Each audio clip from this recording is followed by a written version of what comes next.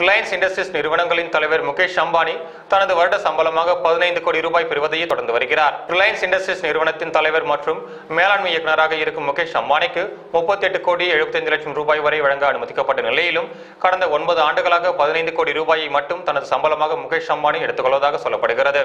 Reliance குழும செயல் இயக்குநர்கள் அதன் பங்குகளை வாங்கிக் கொள்ளும் விருப்பத் தேர்வு வழங்கப்பட்டுள்ள நிலையில் அந்த சலுகையையும் முகேஷ் அம்பானி மறுத்துள்ளதாக தெரிவிக்கப்பட்டுள்ளது.